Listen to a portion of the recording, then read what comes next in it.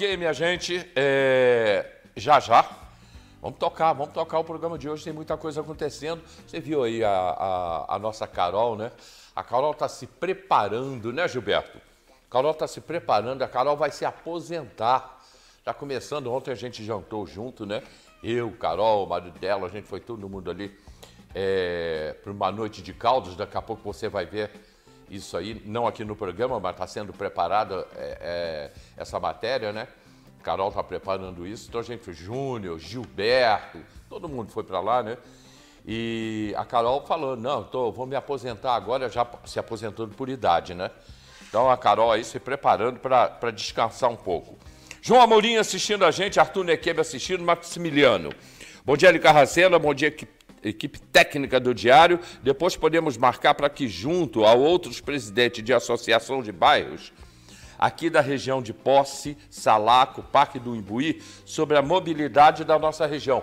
Olha, é, foi o que eu falei com você ontem, Maximiliano. A hora que vocês quiserem. Eu preciso de umas imagens, de uns vídeos aí do local. Sei que o problema é sério, que se acontecer alguma coisa na ponte do Imbuí, ninguém passa nem para lá nem para cá. E são seis ou sete bairros aí dentro, né? Caleme, Parque do Imbuí, é, é, Posse, Granja Florestal, Salaco, Salaquinho, só que são seis. Campo Grande, sete. Posse, oito. Né? É muito grande toda aquela região ali. Então, aconteceu um acidente, já guarda essa aí que eu vou te perguntar isso, Faria. Aconteceu um acidente ali, já era. Já era. O que, que tem que ser feito? Vou entrar nesse assunto. Simone Rodrigues, bom dia. Deu ruim na prefeitura, mas todos já sabiam que ia ser ruim. Né? A história da prefeitura, mais dinheiro bloqueado na prefeitura. Simone é lá de Soledade 2, está ligadinha com a gente. Tem tempo que eu não vou lá em Soledade 2, né? Lá na igreja do, do da Carla e do Daniel Palhares, lá em Soledade. Já que tu falou o nome, né? Então deixa eu dar o meu bom dia aqui. Lá em Soledade 2 tem Arrozal, né? aquela área ali. O pessoal tá ligado com a gente. Tá, tá, tem que ligar aí pra cima, parte de cima, pra cima. É o azul. É o, é o azul, tá funcionando? Então, Doutor? Agora tá. Tá, tá bom. Não. Dá algum. Hã? tá não. Não? Então tá. E olha que a gente vê isso todo dia. E o amarelo? O laranja? Agora funcionou? Bom dia. Tá bom, dá um bom dia à população. E a população lá, né, sumidorense ali da, dessa região de Soledade, Arrozal, Botafogo, que é- faz meio que divisa, né? É. Ali com São Bento, divisa com Teresópolis. É uma região também que produz Já tem muito. um ano que eu não vou para ali. Eu, de vez em quando, eu vou ali na, na casa do Daniel, Daniel e Carla, que, aliás, eles não moram ali, mas a igreja deles é em Soledade. Mas eles moram, ma- moram na, na, na estrada, ali perto de Água Quente. E já tem um ano que eu não vou lá. É uma região que está crescendo muito, né? Soledade já é sumidouro, né? É, Soledade é sumidora, ali aí já, já próximo, próximo de, de. Tu conhece ali aquela região toda, Balança, né? Balança. Balança Campinas, Dona Mariana, produção de caqui muito grande naquela região, é, de flores, ali também muito, tem muita plantação de flores. Região também que se desenvolve, né? Crescendo É, bastante. esse interior nosso é espetacular, É, né, é. rapaz? É só, a gente só dá um, um azar que a gente não pega um prefeito que queira fazer um trabalho com o interior. Aproveitando, Água Quente, recebi denúncia ontem, pedi o pessoal de Água Quente, ninguém me ligou ontem. Se tiver alguém de Água Quente aí, por favor, me liguem. Que as máquinas foram retiradas de Água Quente, fizeram um pedaço do asfalto dois ou três quilômetros só e pararam, as máquinas já foram até embora. Os caminhões passaram lá à noite. É, a gente tinha uma imagem aí, não sei se a gente ainda tem, dos últimos dias, os caminhões passando à noite e retirando as máquinas e já era em água quente. Olha, é, é uma notícia que é, é- é bom a gente realmente confirmar, porque ontem à noite eu tive uma reunião e foi falar desse assunto da estrada de água quente, que o Estado estava investindo ali e ia continuar esse investimento, que é um, um trecho grande ali de, de asfalto, não é um, um- não é operação tapa-buraco, é uma E são, operação são as grande. máquinas sendo retiradas. É bom que a gente saiba disso para comunicar né, que aquela obra é uma obra muito importante, uma região de produção muito grande. Aquela turma toda lá, e a, a- a produção agrícola, né, o, o- já tem a- aqueles galpões de beneficiamento, é, granjas, tem. É uma região também muito que evolui, que está se desenvolvendo e a estrada é uma das coisas principais de infraestrutura para a região. É, as máquinas, como eu falei, né? Elas, elas já foram levadas. Fizeram só parte do asfalto. Mas eu estou querendo que o pessoal lá de Água Quente me confirme mais sobre essa retirada das máquinas. Né, se foram todas, se foram parte, mas aparentemente, pela info- primeira informação, todas as máquinas já foram levadas. Infelizmente, aí o pessoal de Água Quente vai, vai sofrer, porque só fizeram um, um pedaço pequeno da estrada. Ah, Conhece ali, Faria? Dá para ver de conheço- noite? Não. Conheço agora, ô, Hélio, eu estou na dúvida dessa informação, né? E aí é, é, vou até apurar, porque as notícias que eu tive, as informações que eu tive, é que é uma obra que é de muito interesse do município e o Estado está fazendo e que e realmente tem um compromisso de investimento ali. Isso, isso foi ontem à noite conversamos sobre esse asfalto, né? E até eu fiquei de fazer uma visita lá na região para dar uma olhada né, na, evolução dessa obra. Vamos, vou procurar saber certo e, e até comunicar se realmente aconteceu essa retirada de máquina, que é a informação que a gente não vai duvidar, mas que a gente precisa ver para reverter o quadro, né? Aquilo ali é uma estrada Sim. que precisa de precisa de, de apoio, não é só a estrutura da estrada, mas a estrada é uma das coisas principais na região rural. Então, oi.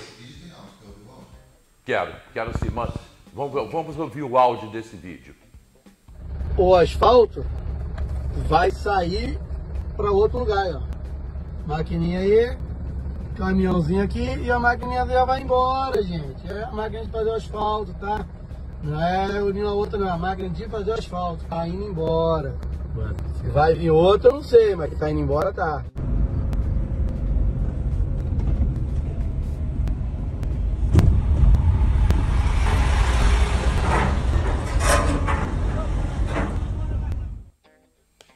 Tomara que, que, que não aconteça, né?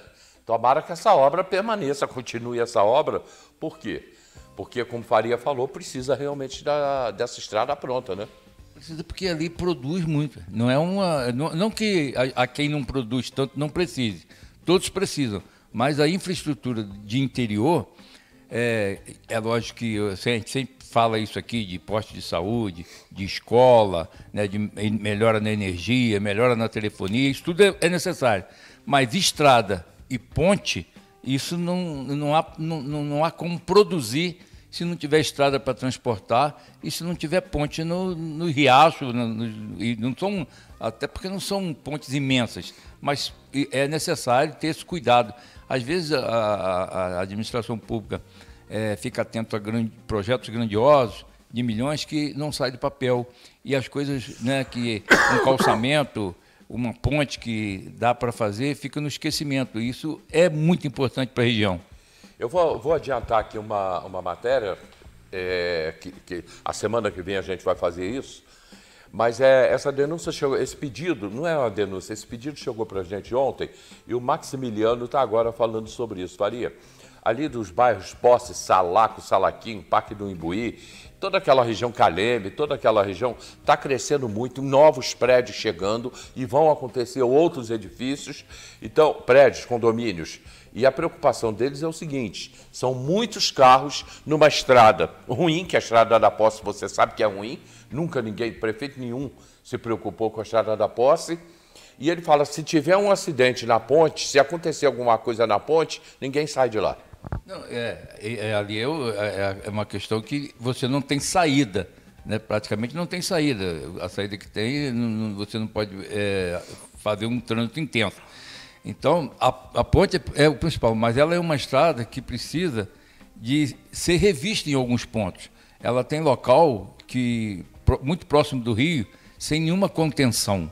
E É. o, o trânsito intenso, período de chuva, em, em- qualquer momento, aquilo ali pode realmente deixar aquela população numa situação complicada de não poder se locomover, de sair, chegar. Então, é importante que a prefeitura né, faça uma revisão ali e tem alguns trechos. Eu sei que tem obras que precisam, depende do Estado, né? Muro de contenção em rio, meio ambiente, tem que estar junto, tem que ter mas tem que ter essa preocupação, porque é uma estrada também de uma região, como você falou, tem uns seis ou sete bairros ali, num complexo de uma população grande. Então, é, é, o trânsito de ônibus que precisa, de caminhões, de, de entregas. Nós temos, é, é por exemplo, grande mercado da cidade que tem depósito naquela região, que, que é caminhão todos os dias, né? os, as entregas que acontecem lá nos mercados, da própria população.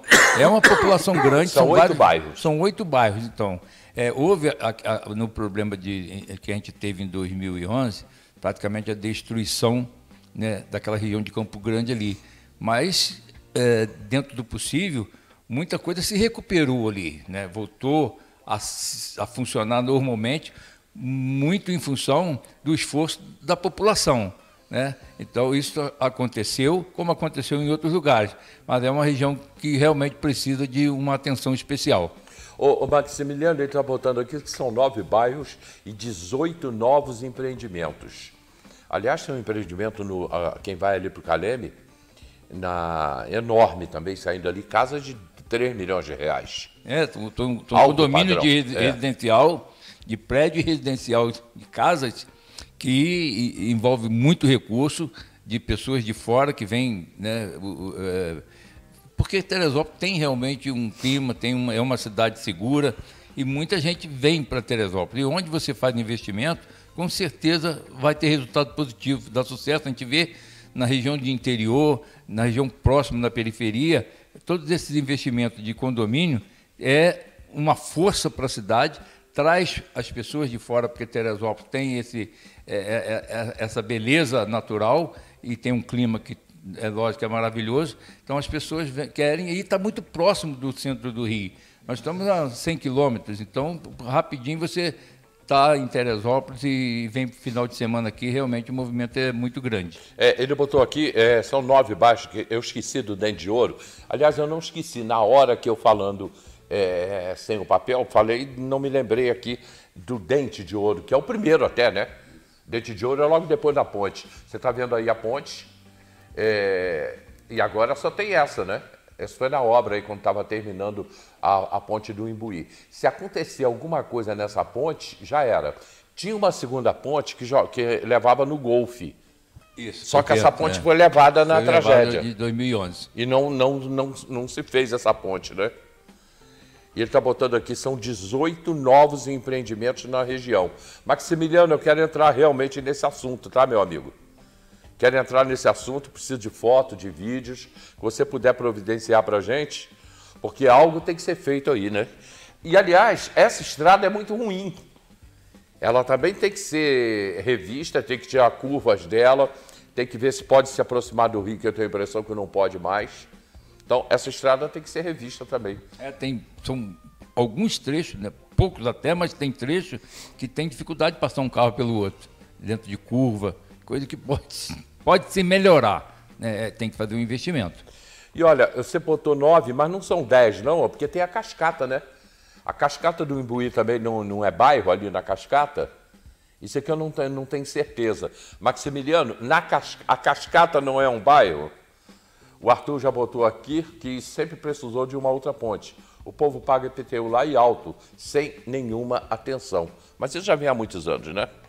Aliás, todos os prefeitos que passaram que eu me lembre, ninguém fez nada pela posse, não. Pelaquela região toda ali. Eu acho que ninguém fez nada. É, vamos à edição de hoje do Jornal Diário. Edição de hoje do Jornal Diário. É, decisão da Justiça garante gratuidade das passagens de ônibus. Porque como a prefeitura continua devendo a, empresa, a empresa já não ia, é, já está brigando, querendo receber. E a prefeitura, ela não pagou sobre as pessoas que têm deficiência física, pessoas com deficiência física. E ela coloca essas pessoas por idade. E aí está dando um problema enorme e a, a, a, a aviação vai continuar, vai garantir a gratuidade. Mas a prefeitura tem que pagar, porque o prefeito Vinícius Klaus tem prazo para pagar a empresa, o que deve sob pena de sequestro do dinheiro nas contas. Quem não se ra- recadastrar não vai poder trabalhar na feirinha. Feso Proate recebe violinista internacional. Após 42 meses, a reabertura do hemonúcleo vai custar cerca de 500 mil por mês. Pode ver a página. Página 2 do jornal O Diário, Procon do Rio fiscaliza venda de sabão em pó falsificado. Isso é boa, falso- fal- sabão em pó falsificado. Rio Previdência convoca pensionista para recenseamento obrigatório. Pode virar a página. Aí, quase 500 mil por mês para o funcionamento do hemonúcleo. As passagens de ônibus, que é garantido por uma decisão da Justiça. Pode continuar virando a página. Padre Luiz Melo recebe título de Monsenhor. Trigésimo Batalhão de Portas Abertas para a população neste sábado. Pode continuar virando a página. A coluna do Vanderlei Pérez, O Reino dos Dinossauros, Dinheiro Bloqueado. Vanderlei vem falando sobre isso. Quem não se recadastrar na fazenda não vai poder trabalhar na feirinha. Pode continuar virando. Festival Sesc Inverno bate recorde de público. Feso Proarte recebe violinista internacional. Pode continuar virando. Pronto. E os classificados do jornal O Diário. Eu tenho que botar, ô Gilberto, eh, a gente já tem um. um- agora. Eh, me mandaram a. parte. O meu? Sim, senhor. E agora? E agora, tá bom? Hã? Agora sim. Então tá. Então a Festa Pro Arte me mandou aí um, um vídeo do, do violinista que se apresenta agora na Festa Pro Arte nesse final de semana. E vamos mostrar aí, porque o pessoal que gosta de música, da música erudita, que gosta da música clássica, é final de semana na Unifeso Feso Pro Arte. É, Feso Pro Arte recebe violinista internacional, concerto no de Carmelo de Los Santos, sábado, 3 de agosto, às 8 horas da noite é hoje no Centro Cultural Feso Pro Arte. Não se paga nada, portas abertas para o público e a gente tem aí um vídeo com a apresentação dele. Aí se Gilberto soltar aí o vídeo, a gente pode botar e daí a gente vai para o comercial desse nosso segundo bloco.